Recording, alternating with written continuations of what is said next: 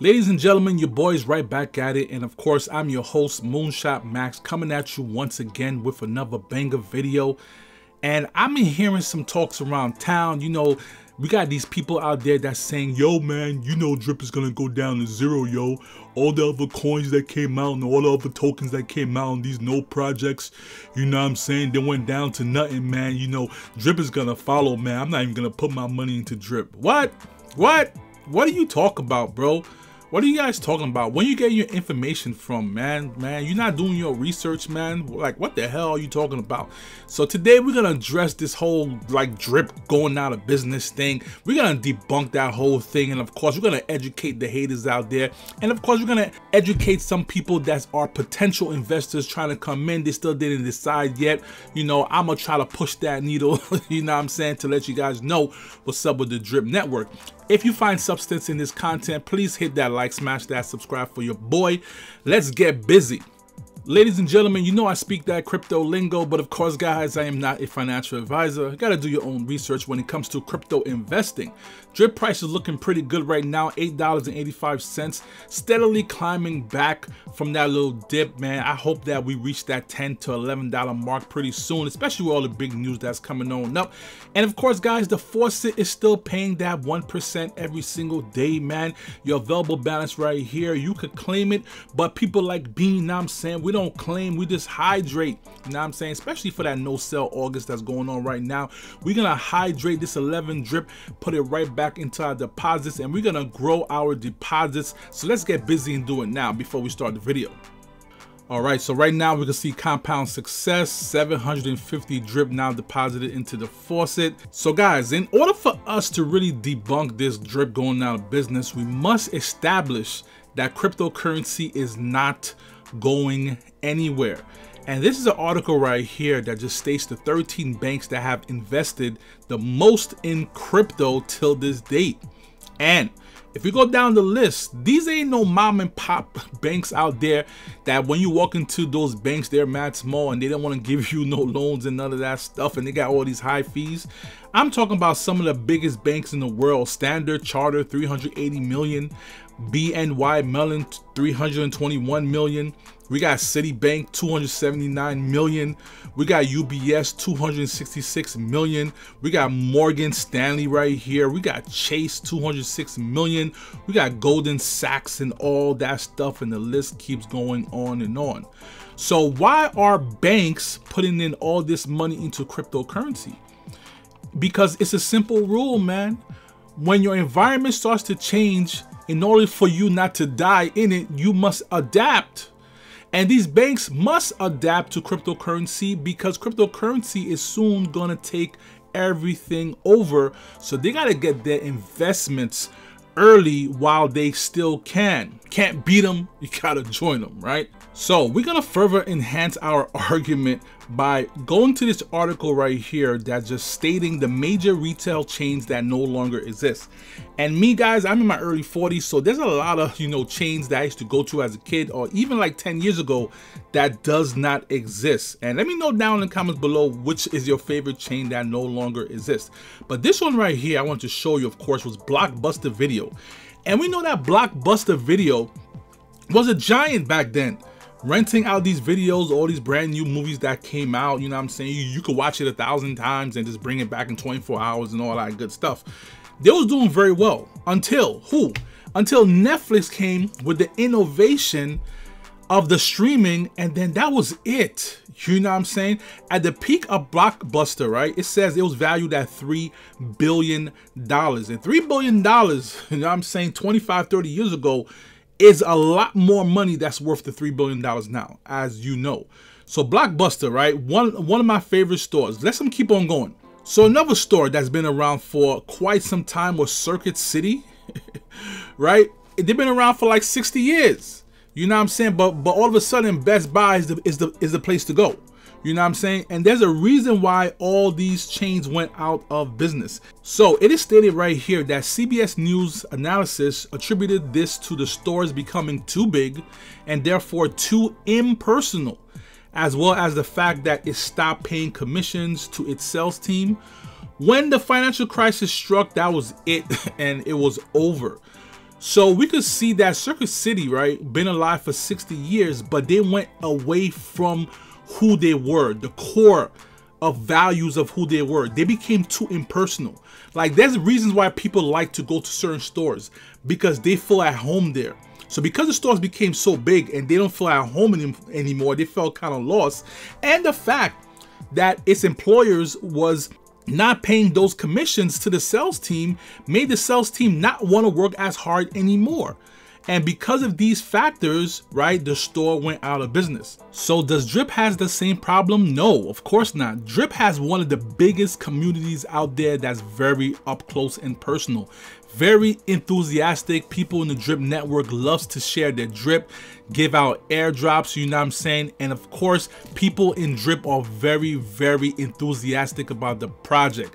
Very passionate about the project. When you join the drip community you joining the whole entire network of people that's aligned to the same goal that you have. Drip will always pay you that one percent a day.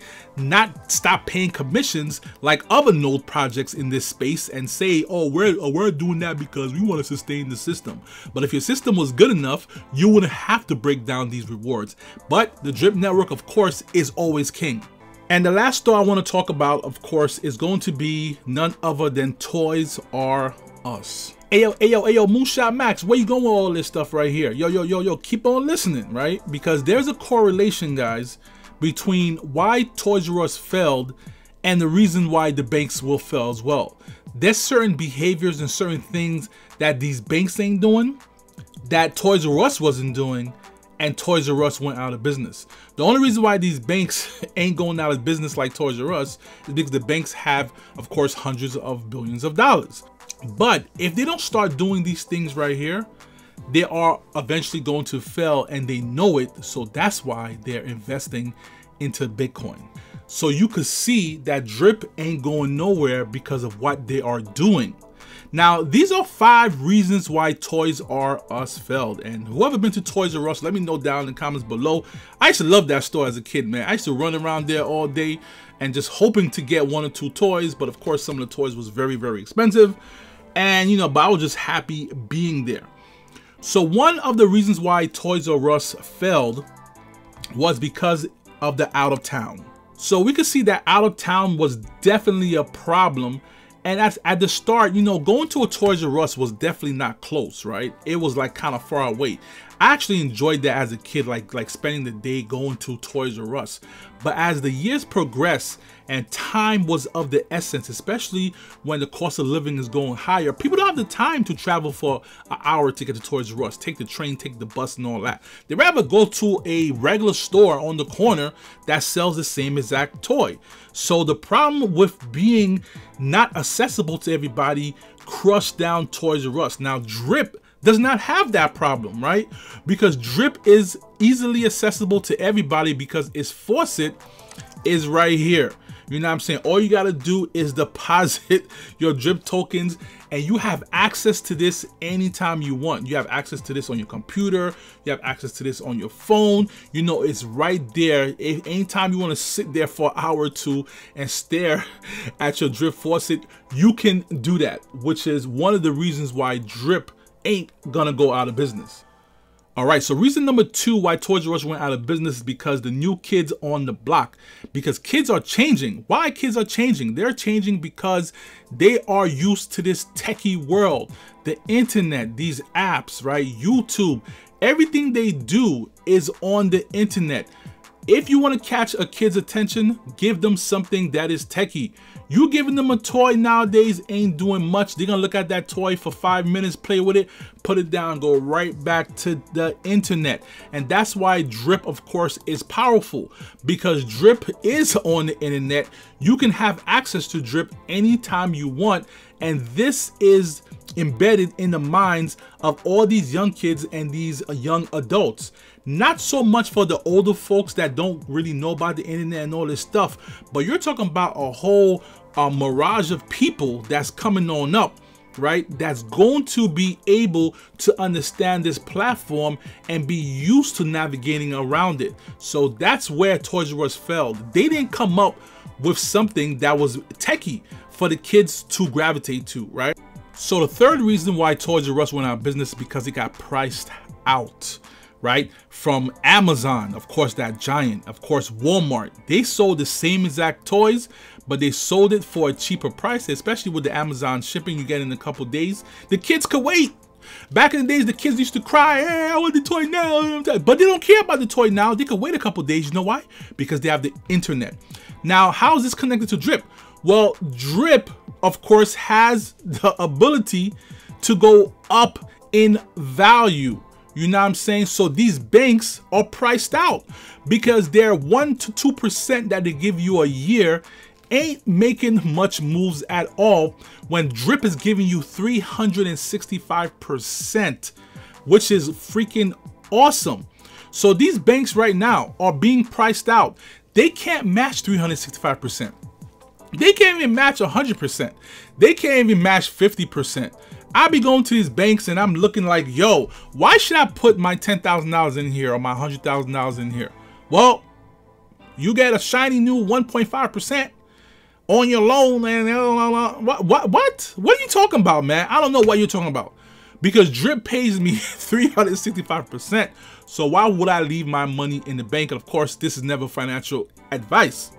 So the banks are getting priced out because of DeFi protocols such as Drip. And we know Drip is the king of DeFi.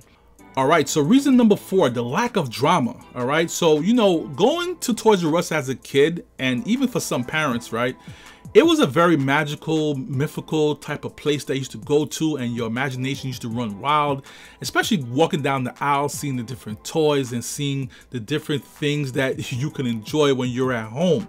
And that's the feelings that you had when you used to be in the bank, right? The bank used to offer a CD, right? And that CD used to be one, two, three percent.